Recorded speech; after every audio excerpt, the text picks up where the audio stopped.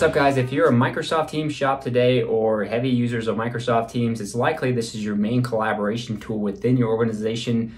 You're doing everything from chat to video conferencing, all the way to file sharing, collaboration as well. So if you think about it, most if not all the sensitive data is flowing through this particular tool, which is why it's very important to have security best practice. In this video, I'm going to give you my top recommendations for securing Microsoft Teams that I've actually mapped to the CIS controls. And if you're not familiar with the CIS controls, they're basically a set of best practices for cybersecurity that can actually help you prioritize your time around implementing those things as well too. So while I'm going through this video, definitely comment below with anything that you're doing today to help secure your Microsoft environment. And I'll link below a supplemental blog post that will walk you through more of the security recommendations outside the ones I'm going to show you today and some more of that how-to for how to configure these individual settings within Microsoft Teams. Let's go ahead and dive into the recommendations. So the first recommendation relates to data processing and storage based off of sensitivity. So I'm recommending that you either use the private team or a shared channel. And in this example, I'm showing you how to create a shared channel here, which does allow you to explicitly invite people from within your org or external to your organization to have access. This gives you great access controls into potentially sensitive conversations or sensitive files that are being shared. And again, this does allow you to invite external participants into this securely as well. So the next setting I want to talk about relates to external access and an access granting process. So by default here within the settings, you can see that all external domains are allowed as in every user can collaborate with external users outside the organization. And this could be used from attacker standpoint to have some type of reconnaissance or phishing going on where they could actually reach out to you in Teams chat and then start a conversation with your users internally as well. So the recommendation here is to only allow specific external domains and whitelist them basically as they come up. This does require a little bit more administrative overhead when these situations do happen and users know, need to know how to reach out, but it is the recommended method that you need to take. So within here, I could say, for example, I wanted to whitelist Nova Coast School as a collaboration partner that I might have. And then I want to turn off the settings here, which says that people in my organization communicate with users that aren't managed by an organization. That specifically means they have like a personal Teams account. So don't want that either. That's another attack method that could be used by um, just bad actors. And then I would turn off Skype users as well too, because this went end of life a couple years ago now, and really shouldn't be allowing Skype communication internal to your organization within Teams. So you want to go ahead and save these settings and confirm. Back in Teams, you can notice here that I'm in a T-365 tenant. You'll notice that if I try to add a external participant here that I didn't whitelist to my organization, I get this message that says we can't set up this conversation because your organizations are not set up to talk to each other. The next setting we're going to talk about is also related to data exfiltration, but also shadow IT as well. By default, users can go into the application section here within Teams and they can start to download any application that they want. And this is an easy way for, again, shadow IT to happen, but also data to leave your organization externally in sources that aren't necessarily approved by the organization as well. So in order to mitigate this, you'll need to change the settings in the Teams Admin Center again. And specifically in here, we're going to go under Teams Apps and then Permission Policies, and we're going to modify the global org-wide default. So within the settings here, you see that all apps are allowed across Microsoft, third-party, and custom applications. And the recommendation here is to allow specific apps and block all others. Uh, specifically for all of these use cases. And in the case of third party, you may be blocking all of those applications by default along with any custom applications as well too. So this is where again you want to whitelist here the particular application. So you may want to obviously be whitelisting things like Power BI, for instance, as a clear example of an allowed application within the organization. And then you can click on Save here. And then in the Manage Apps section here, you can go to the org-wide app settings. You'll see some repetitiveness there with what is selected for third-party app visibility, custom app visibility, but then you can also customize whenever a user wants to go in and install request a third-party application what the messages are here. You can actually redirect them to an external link as well which may just be your ticketing system. The next setting I want to talk about is data loss prevention policies that you can create. Up to this point in time here, I've been referencing policies or settings that are really available to anybody consuming Teams licensing.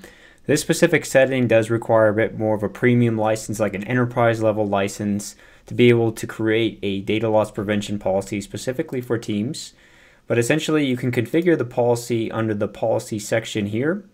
And then when you do, you're going to set this up here to generate a name and it has these custom templates that you can use as well. So let's say I had a financial company where I didn't want people to be able to share things like credit card information specifically. So you could use these pre-formatted templates or you could do your own custom one here where you pick your sensitive data types. And then you'll go through the configuration of all this here.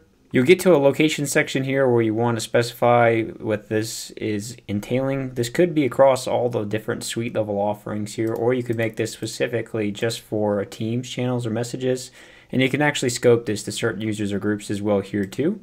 If you were to customize this here as well too, you can see that you can configure the individual settings here as far as the actions when this event is triggered. So in this case, it sends an alert to an administrator and then it notifies user with an email and policy tips. So I'm not going to go through all these settings just for the sake of time, but on the end user side, here you can see an end user who's trying to paste in a credit card number into a Teams channel. And then once they do, they are blocked and they are receiving the tooltips here directly from within Teams. As you can see in this example, you are able to create the settings so that they could actually override this uh, themselves. This is kind of you trying to find a balance between security and the administrative overhead for some of these things and giving users some of the customizability there to dictate whether or not this is a justified action. So the next one here is really straightforward, but it's just restricting who can create a team.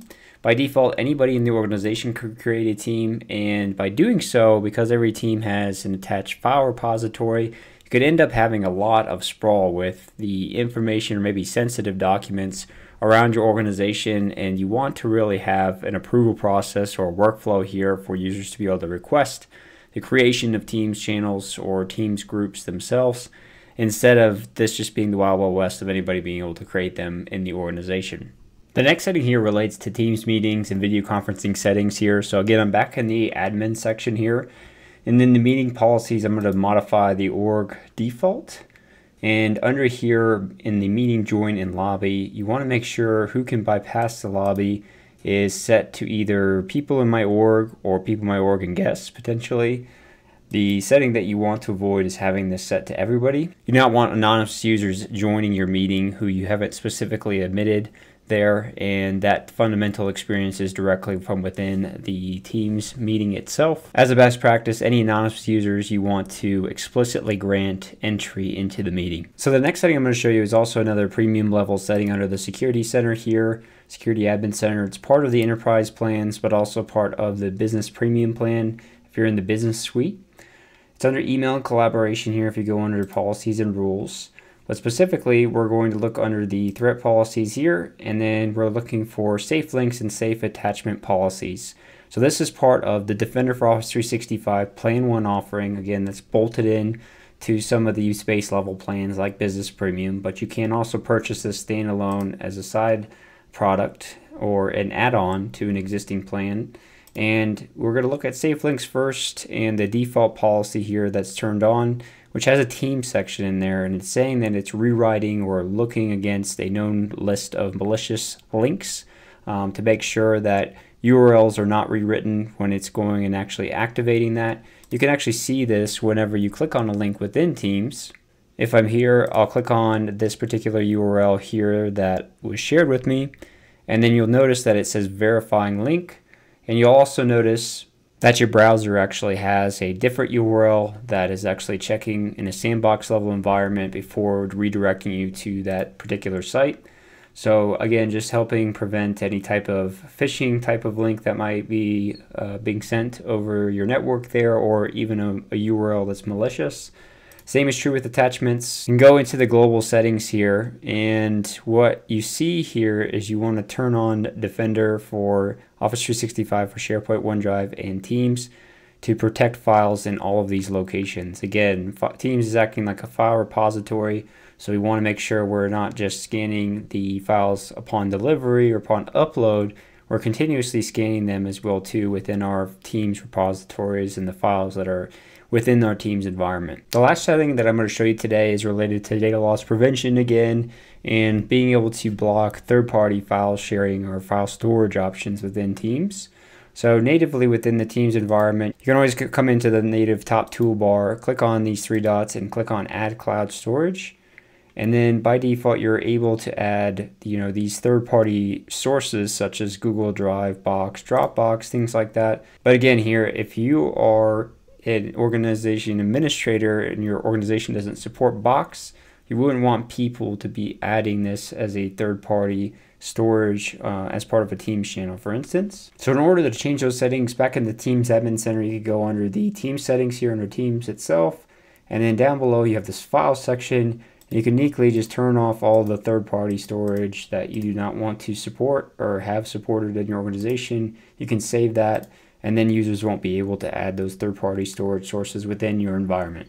Okay guys, that's everything I have for you today's video. Definitely comment below with any questions about any of the settings I covered today. Like I mentioned at the beginning of the video, definitely check out the blog post for more of that in-depth how-to as well as the mappings to the CIS controls.